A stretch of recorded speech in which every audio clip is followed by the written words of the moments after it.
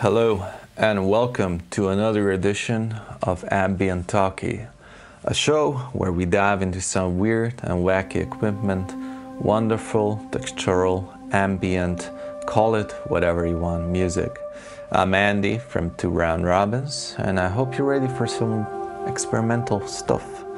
Today we're trying to pull magic out of Plumbutter I've talked about this wonderful machine on the previous episode where we dived into more philosophical or even geographical elements of this drum and drama machine. So I suggest checking out that video first if you haven't seen it and then come back to this one. But by all accounts, do as you wish.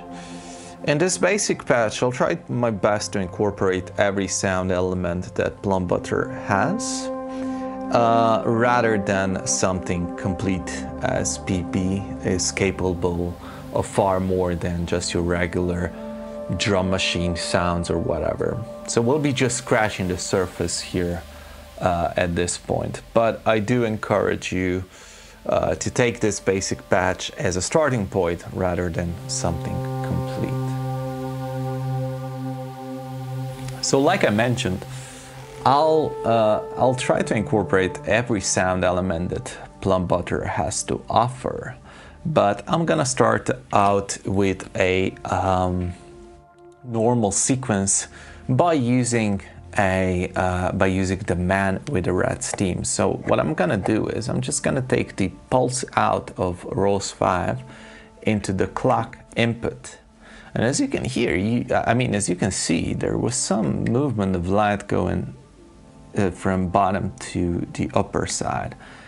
And basically you see that kind of goes out. So if you want it to be loopable, what you can do is just take the last orange out into the data input, which is this purple in. And now if I press the button, it will just loop. It will just jump back to the starting point. So let's put a sequence in. And what I like to do is just start one, so there we go, and another one. So I have a bit of space in between those. Like I think it has like two, uh, two balls there. Okay, so next off, we can hear that we're not getting any sound yet. Well, because we need a sound source for that. So what I'm gonna do is I'm gonna incorporate my gongs. I'm gonna put, uh, I'm gonna take the red outs here into the green ins of the gong, and we can maybe hear the first sound. We can have this, you can hear a kick. Hmm. Maybe we can use the gong too at the same time. And now it has like a little movement, but I'm gonna stabilize it a bit by delaying the signal here. So I'm just moving this. As you can hear, it has like this tic-tac sound. We have a groove going on, somewhat, you know.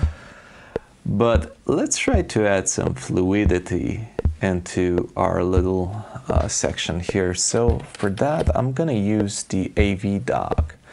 So I'm gonna take another Rolz out into the green end of the AV dog. And if I move this you can hear it. And this like gives us a somewhat drony sound uh, to the whole instrument. You can obviously change the pitch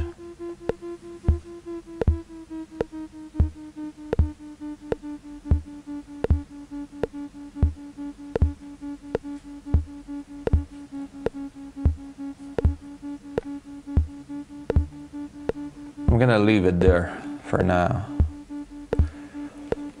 Now what, what else we can do is we can, by all accounts, try to use the ultrasound sound. I'm gonna try to dirty up this thick sound that we get from Gong 2. I'm gonna maybe take the audio out into the input in. And you can hear the ultrasound going. and basically changing the sound element of the stick sound. So if I try to solo this up, you can hear it.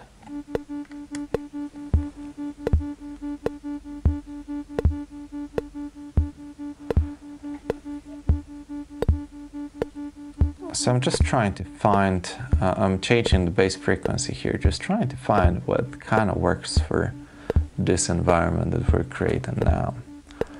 Okay, but you know, this is all fine and great, but let's try to destabilize uh, the rhythm here or the movement here a bit more. So what I'm gonna do is, I'm gonna take another pulse, put it into the ultrasounds and you can hear it in the background. It starts doing something. And I'm, I'm gonna do it even more by just taking more pulses. Okay, now it has some movement. Maybe even here. Okay, you can hear it all over the place. It kinda it kinda has this thick sound, this very electricity vibes with it. And speaking of electricity, I think we can do something with the dust section here, which is probably my favorite part about the Plumbutter. So what I'm gonna do is I'm gonna take the dust out into the inputs of this ultrasound. And now we're getting a bit more noisy, right? You can hear that. Fairly lovely.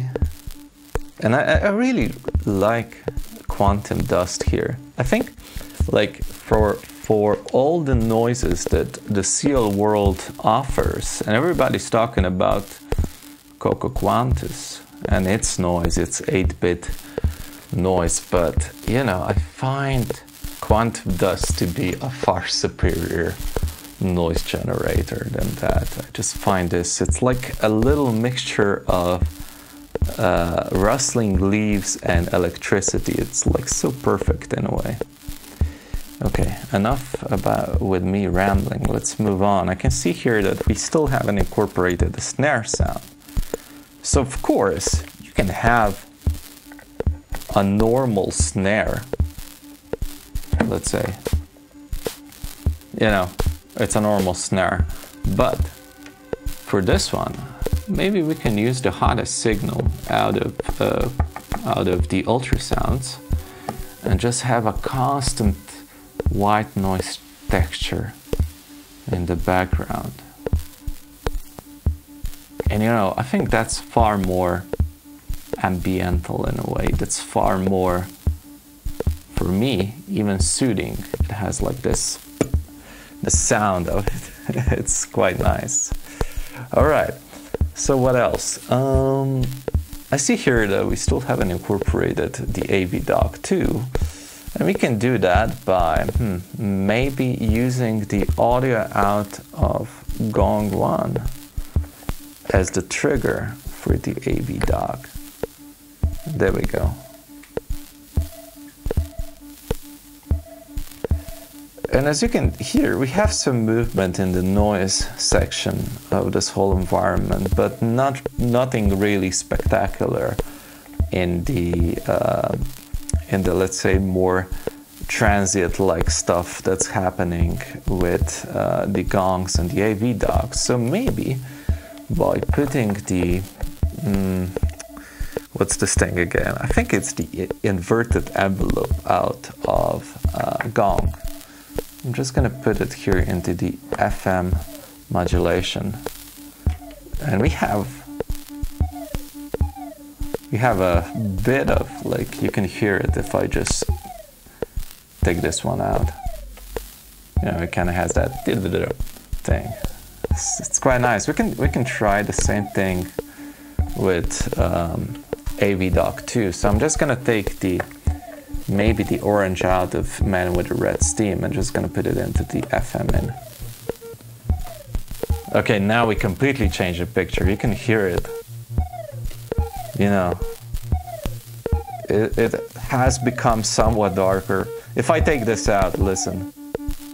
It's just like this little, uh, it's like a, like a little annoying dog just wanting some attention and now the big dog And you know, it's far more in, it's far more aligned to the movement of the second dog here. So it, it's kind of like, it's, I, I find this better. So this is again, we're just exploring. We're trying to see kind of what works, kind of what doesn't. You know, it's a basic patch, but still, you know, leave your options open, man. Um, what else we can do is if we if we listen to this quantum dust, it still has some some stuff going on here. Like, but maybe we can add even more movement. So what I suggest is let's try using the let's try using, hmm, yeah, let's try, hmm, let's try using the AV dog, the movement of this into this. Ah, you can hear it, like it's wagging its tail. It's, it's pretty, it's pretty nice actually. So let me try maybe using this gong here. Okay, now we have some movement. I love about Quantum Dust and AV Dogs combinations. You know, it kind of kind of moves. Uh, you can you can see the leaves, the rustle kind of move in the wind. So I'm sorry, did I did I? Uh, I think I, I touched my microphone, but whatever. So take a listen here. It's pretty nice. Okay. So, uh, the only sound element that we haven't used now is maybe the deer horn. Yeah, it's the deer horn. So, of course you can play the deer horn, but just move in your hand. And you can jam with it, try to do some, some controlled human movements, the whole thing. But for this badge, what we can do is maybe we can self-oscillate, see what sticks, see what doesn't. So I'm gonna take another patch cable. I'm gonna use the orange outs of of the uh, gong 2 here and maybe another orange out out of gong 1 and put it into orange and because to self-oscillate the deer horn orange to orange is usually the key. And if you take a look here, if I move this knob here, so let's just wait for it to receive the messages and be aligned with the environment that we're trying to create. And as you can see here, do you see this lights here going on, on and off, on and off? It's self-oscillating, so let's bring it into the mix. And we got some deer horn movement, so they kind of play with it, with whatever's happening in the suburbia. And we're, we're actually using the suburbia to influence the forest. And we have something going on. I think, like for a basic patch, that's mostly it, you know. And this was my own take on what a basic patch in Plumbutter is. For those that aren't familiar with the whole world of PB, you can try this patch yourself just, just as a starting point. Of course, just follow along, I guess, but I do encourage you to be adventurous, to basically try out different things because you can see here we haven't really incorporated that many, you know, patch connections that we have here because you can influence so much more, you can modulate so much more. More or less what we have done is just using the pulses out to control the suburban area of Plumbutter. So, you know, like I said, I do encourage you to be adventurous, to try out different things. Uh, a suggestion that I used is a suggestion that I can give to you, and I think that I used in the past was basically I got myself a little notebook, open it up, took a pen, and just kind of wrote what kind of works, what doesn't. But at the end of the day, you know, it's it, let's you know let PB control you as much as possible at times, or at least you know it's a somewhat tameable instrument, but at times it's really great when it just takes the wheel and lets it and influences you in in what way you decide to patch it. So that's kind of great. Um, I'm still struggling to think about the next topic for the ambient talkie. So um, for that, if you have any ideas, suggestions, recommendations, or just want to say hi, I do encourage you to leave a comment below. Uh, you can check out my um, jam videos in order to see what kind of gear I have and what exactly I can show you or at least try to explain in my way uh, how I use it and how I incorporate it in uh, how I incorporate it in the in my textural adventures that we have here. So please join me next time and if you like this type of content feel free to subscribe. Uh, have a wonderful rest of the evening, morning, or afternoon, whenever you might be watching, and hopefully, I will see you next time. Take care.